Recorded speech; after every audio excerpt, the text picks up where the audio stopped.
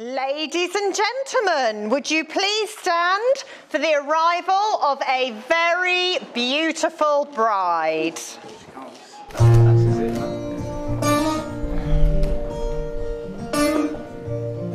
You in a second. He can't wait.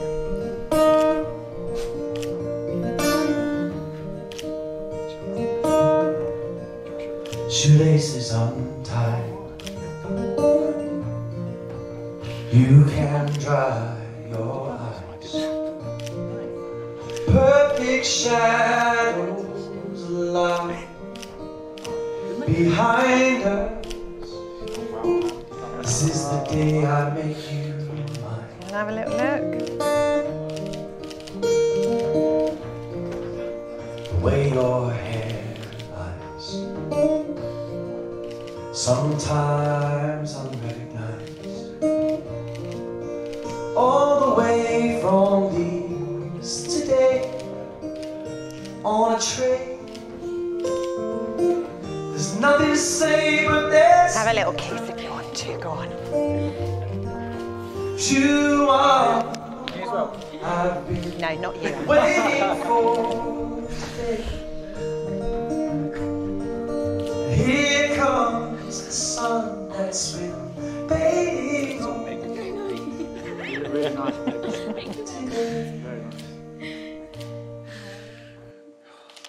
Oh, he's off already. It's quite sweet. Welcome to the Pilgrim's Rest Battle this Thursday, the 14th of September 2023, for the wedding celebration of David Poulton and Megan Tuddenham. Thank you, Chris, for accompanying Meg here today. Thank you, Alex, for being a brilliant bestie. And thanks to all of you for being such a top tier wedding crew. Many thanks also to Tristan. Can we have a big whoop to him? For playing so very beautifully. Could I ask you all to be seated? Good day, ladies and gentlemen. It's absolutely bonza that you're here, and we hope you have a ripper time. Fair dinkum for making it all the way from down under.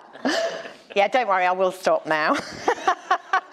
I would like to extend a very warm welcome to Dave and Meg on this very special day where, through their vows, they will be making a public declaration of their love and commitment to one another, their delight at having found each other, and their joy in the little family they've created with Phoebe, their beloved Frenchie, at its heart. I'd like to welcome you to the Pilgrim's Rest, a very English country setting in which to host this wonderful day. I'd very much like to extend a great big warm welcome to all family and friends gathered here to witness and support Dave and Meg as they affirm their marriage vows. I know they are absolutely thrilled that you are able to be here. As those that are special to them, they thank you from the bottom of their hearts for making the effort to be with them today and helping them to make it a celebration they will never ever forget. We've got locals from Bexhill. Oh, Bexhill, you let me down. We've got locals from Bexhill. Thank you. The down from Londoners. And of course, a massive good day to the Aussie gang who have had to travel a very long way for a glass of fizz. Good on you guys. My name is Kate, and it is both my pleasure and my very great privilege to lead you through the ceremony here today. You are here to share in the occasion as Meg and Dave pledge their true and lasting commitment to one another. And we're all here today to witness and celebrate this occasion with them. Having you all here with them will make the day more meaningful and provide you all with memories you can share together in the forthcoming years. Marriage joins two people who love each other and trust the love that they have found. It's a partnership in which each can grow to be their true self whilst enjoying the support of the other. It's a statement to all those around them of what the two of them already know, namely that they have found the trust, friendship, love, and support of the other and would like to carry this with them through the rest of their lives together. Dave and Meg tell me they first made each other's acquaintance when living in student accommodation at Hertfordshire University. Meg lived three doors down from Dave, and I'm told that although there was a lot of passing on the stairs, he consistently ignored her. Anyway, his flatmates started hanging out with her flatmates, which meant he sort of started out hanging, hanging out with her. And then at a flat party, they got chatting and made a connection over Dave having an uncle who lived in Perth who was also called Dave. Dave also impressed Meg with the fact that he was studying quantum physics. Ooh, which was weird because he wasn't studying quantum physics. He was studying automotive engineering. But what is really weird is that between quantum physics and automotive engineering, he thought quantum physics would be less nerdy. anyway, the next day they added each other on Facebook and Meg spotted that they shared the same birthday. Not just the date, but the year too. But such is the shaky foundation of a relationship built on quantum physics based lies that she didn't actually believe him. And he had to show her his passport in order, in order to convince her that they really are astrological twins. They continued to hang out and had each other over for home cooked meals, as Dave was pretty much surviving on chicken nuggets, and Meg had a few more cooking skills down pat. And Dave tells me their first official date was a trip to Staples an office supply store to buy an ink pad. Apparently, this was based more on practicality than romance, as Dave was the only one who had a car. Then their first dinner out involved Dave taking Meg in the dead of night to a pub in the middle of nowhere. As they drove through the pitch black along tiny country lanes, Meg said there was more than a bit of the serial killer vibe about it. And she wasn't actually sure if she was going to make it back alive. But the pub turned out to be lovely, the Sunday roast was sublime, and not only did she live to tell the tale, but she is here today, ladies and gentlemen. Of course, we know the course of true love does not always run smoothly, and Meg had only come to England for one year midway through her course. She was meant to be returning to Australia at the end of the summer and had not factored in finding her true love and soulmate. So, when uni finished for the summer, Dave worked the London Olympics and Meg went travelling in Europe with her brother Kyle. And then much lovesick video calling ensued until Dave then came to join them for two weeks in Croatia. Talk about being a third wheel, Kyle, yeah. then finally the summer drew to a close. The chill breeze of autumn blew across their threshold and Meg had to put on her crocs, pack up her cut lunch and head for the airport, where, I'm told, there was a lot of weeping before she finally made it onto the plane and back to Oz. Can I get an R? Dave said once Meg had gone, he literally, this is so sad, he literally didn't know it was possible to feel so terrible. Oh, Dave, my heart is literally breaking. There and then, he knew he wanted to spend the rest of his life with her and never to have to say goodbye to her again. He managed to limp on until Christmas when he couldn't wait to get over to Oz and meet the family.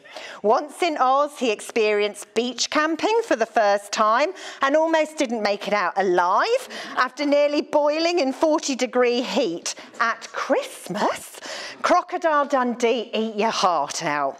Then the following February, Meg came back over to Europe with her parents, and so she and Dave grabbed another short bit of time together.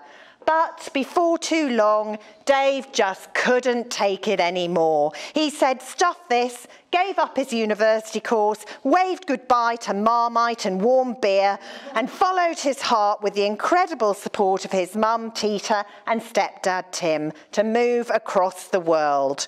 That was 10 years ago, and you haven't looked back since.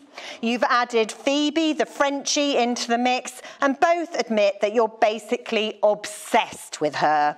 Most of life revolves around walking the dog, grabbing coffee with the dog, heading to the beach with the dog, walking along the beach with the dog, and discussing how gorgeous the dog is. You love good food and nice cafes, and restaurants feature highly on your to do list. You share the cooking, and Dave openly admits that he loves his cleaning regime. And although you both like to garden, Dave infamously also absolutely loves weeding. You enjoy a good Netflix session, but can never decide on a TV show to watch together because Meg can't watch anything too violent, scary, or gruesome, and Dave can't handle another episode of endless replays of Paddington Bear. You've travelled widely together around Australia and Europe and meet up with Dave's family in the Philippines or Meg's family four hours away in Geraldton. Did I say that right? Oh, good. Family are important to you both, along with, of course, Phoebe, who, if it hadn't been for the long haul flight, would definitely have been here today. You tell me that you don't know what the magic ingredient is, but as soon as you found each other, you just clicked. You've matured together and you're basically each other's best friend. Meg is a free thinker, always coming up with crazy ideas, whereas Dave is more grounded and there with a reality check when needed. but having said that, Meg's spontaneity has definitely brought Dave out of his shell, and Dave's solidness has provided Meg with a welcome feeling of warmth, security, and safety. You are two balancing parts of a pair and just love being each other's Sheila and Bruce. Today is about recognising the bond you already share with each other and acknowledging that you want to stay together and support each other into the future, whatever that may bring. You found in each other happiness and fulfilment and, of course, love. And as a consequence, you now wish to affirm your relationship through the exchange of vows sincerely and faithfully kept. But before we move on to the main part of the ceremony, I would like to invite Gay, Meg's mum, forward with a specially chosen reading. Yes. Right. Not quite a reading, it's a poem. In Battle's historic mm-hmm. embrace, they stand, Megan from the land of sun-kissed sand, David a Brit with a heart so grand, their love story a fate so beautifully planned. From distant shores their paths did meet, in the UK where two hearts took a seat. Born on the same day, their destiny, their destiny sweet. A love story is destined a connection complete. Megan the Aussie with a spirit so free, David from Britain by her side, you'll see. Together they ventured across land and sea, now with Phoebe their loyal companion, their family tree. As they say, I do understand so wide, two souls together forever to ride, in laughter and love side by side, their journey of love in each other's ride. A path of devotion, so strong and brave, in Battle's town their love they engrave. May your days be filled with joy and cheer, as you journey through life year by year, with love as your guide there's nothing to fear. Megan and David, your love story's here.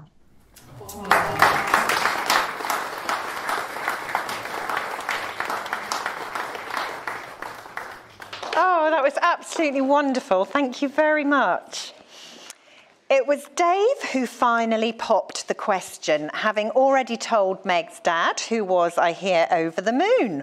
Dave decided the perfect time for his proposal was after Meg had been at hospital working an 18 hour overnight shift. She'd spent the day on the couch and was still tired and grumpy by the time he got home, but he ploughed on, suggesting that they go to the beach together.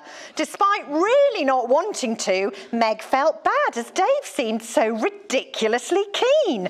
So she capitulated and agreed to go. She got as far as the beach and plonked herself down on a sand dune to watch the sunset. Still, he kept pestering her to go for a walk, trying to coax her down to the sea with the promise of sea glass. But she was having none of it and just walked the next few steps to the next sand dune where she plonked herself down again. Realising this was as romantic it was as it was gonna get, Dave got down on one knee and with the dog running round like a maniac with another dog's ball, he asked Meg to marry him. And did she say yes, ladies and gentlemen? Yes. Of course she did. And she cheered right up too. Two days later, they celebrated their joint 30th birthday engagement with family and friends and a boat trip to the Alborus Islands. Did I say that right? Oh. They went somewhere on a boat, I don't know where. And Dave learned that in future he should not plan romantic gestures after an 18 hour night shift. Dave, come on. You hold the same values in life, have the same vision for the future you want, and you bring out the best in each other. You're both happy to go with the flow, and you make each other laugh a lot every day, which, to be honest, sounds like a fabulous foundation on which to build a marriage. And so today, Dave and Meg, you are committing to a partnership of love, trust, and understanding, in which you will care for and support each other, in which you will share all the joys that life brings, but in times of adversity or sorrow, you will comfort each other and lend each other your strength. When I asked Dave and Meg to describe each other in three words, Dave said Meg was cute, adorable, and nurturing, and makes him feel wanted. And Meg said Dave was ambitious, gentle, humble, and thoughtful. She also said he's obsessed with cars to an unhealthy degree, but she admitted that that was a small price to pay for such an all round lovely chap. Dave and Meg, this is the time you have chosen to continue to affirm your commitment to one another as husband and wife. Are you ready to make your vows? Yes. Yes. Oh, excellent. Right. Would you like to stand here, face each other? That's it. If you take a step back this way, Dave. Oh, there we go. That's it. There we are. You can hold hands. It's all right. Dave, will you please answer I will to the following? Will you, Dave, keep Meg as your favourite person? To laugh with her, go on adventures with her, support her through life's tough moments, be proud of her, grow old with her, and find new reasons to love her every day. I do. I will. Anything affirmative will do, it's fine. And Meg, will you, Meg, keep Dave as your favourite person? To laugh with him, go on adventures with him, support him through life's tough moments, be proud of him, grow old with him, and find new reasons to love him every day. I will. Dave, if you could repeat after me. Meg, you are my love, Meg, you are my love, my best friend, my best friend, and the light at the end of every tunnel. and the light at the end of every tunnel. You have seen me at my best You've seen me at my best and at my very worst, and at my very worst, and support me through thick and thin. and support me through thick and thin. Thank you for our yesterdays, Thank you for our yesterdays, and here's to all our tomorrows. and here's to all our tomorrows. And Meg. Dave, you are my love, Dave, you are my love, my best friend, my best friend, and the light at the end of every tunnel. and the light at the end of every tunnel. You've seen me at my best You've seen me at my best and at my very worst, and at my very worst, and support me through thick and thin. and support me through thick and thin. Thank you for our yesterdays. Thank you for our yesterdays, and here's to all our tomorrows. and here's to all our tomorrows. Now, the ancient and traditional way of sealing a marriage contract is by the giving and receiving of rings. And Meg and Dave have chosen to mark their commitment to each other in this manner with an outward symbol of the vows they've made to each other here today. In giving and receiving these rings, you acknowledge that your lives are joined in one unbroken circle. Alex, it's your moment to shine. Just stand here, my darling. Right, if you'd like to take the ring that you have for Meg. Alex, just stay there. Thank you. If you'd like to put that third finger left hand end of, just hold it there and repeat after me. Meg, I give you this ring Meg, I give you this ring as a symbol of the promises as a symbol of the promises I have made to you. I have made to you. May you wear it with love May you wear it with love, now and always. now and always. And Can we get that ring on that finger, please? Ah, mate, beautiful. Right. There we go. Alex, you may be seated. Big round of applause. Fabulous ring bearing. Third finger, left hand end of. Just hold it there and repeat after me. Dave, I give you this ring Dave, I give you this ring as a symbol of the promises as a symbol of the promise I have made to you. I have made to you. May you wear it with love May you wear it with love now and always. now and always. Would you like to get that ring on that finger? Fabulous. And now it's my favourite bit, ladies and gentlemen, because Dave and Meg have written their own vows that they would like to share with us. Who would like to go first? You go first.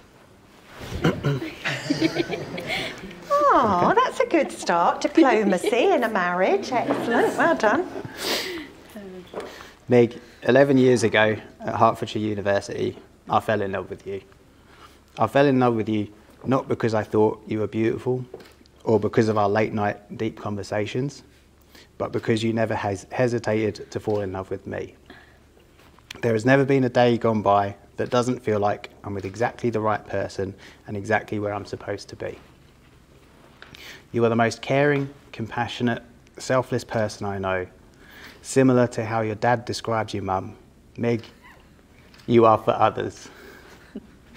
I promise to fall for you again and again each day, to have random tiny little dances with you in the kitchen, to be indecisive with you and to make adventures, but to also be someone who is worthy of your love. Oh.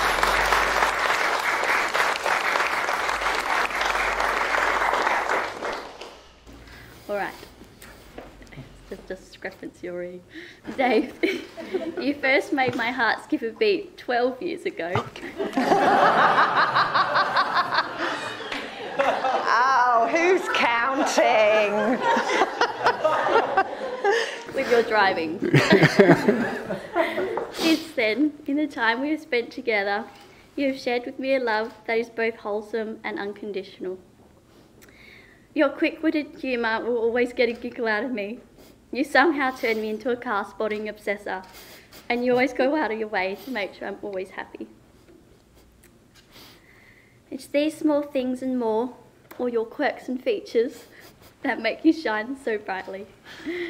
Thank you for embracing all the parts that make me me, with all the stuff I bang on about every day.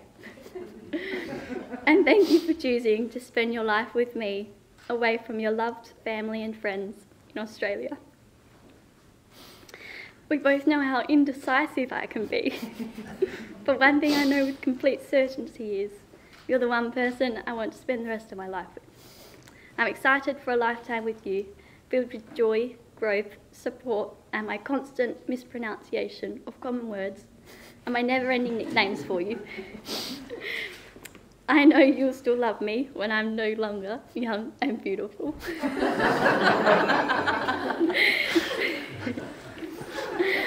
I promise to respect, admire, and appreciate you for who you are, as well as the person you wish to become, including your car obsession. I promise I'll always, always drag you out for adventures, and I'll always need more French bulldogs.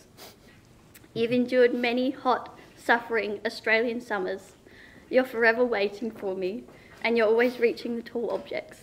but I think it's been worth the sweat. Forever will not be enough, but from this day forward, one of my favourite days so far. I promise to make the most and love each of our days together. Love you. I'll have a little. Go on.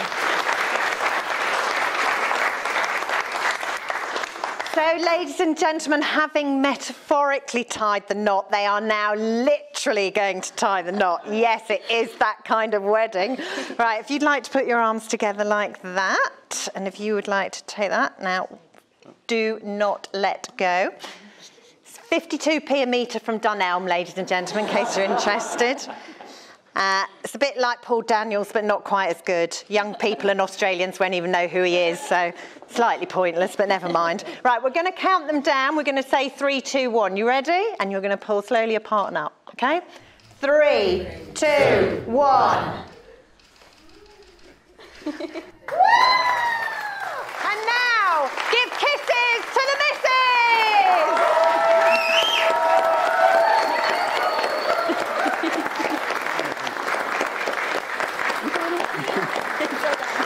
Did you get that, photographer?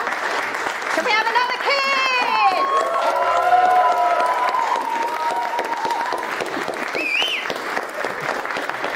Excellent. Would you two like to just take a seat there for a moment? Ladies and gentlemen, we just have a slight pause in proceedings whilst we sign the certificate. So just chat amongst yourselves, and I think Tristan's going to be playing something beautiful for us all. And if I could ask Gay and Tita to come forward as witnesses in a moment, that would be brilliant. Thank you.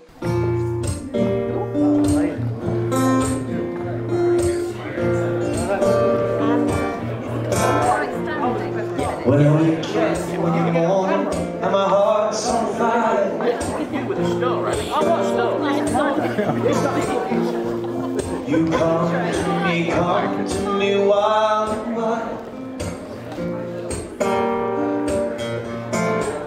You come to Oh my God, it's me, me everything. He's meant to be on the right because his sword arm's meant to be free, but I think because it's Battle, you're probably all right. Don't worry about it.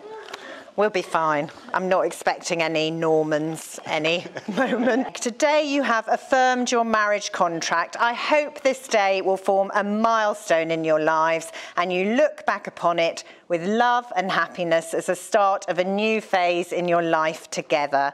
I would like to offer you my warmest congratulations and wish you a very long and happy life together.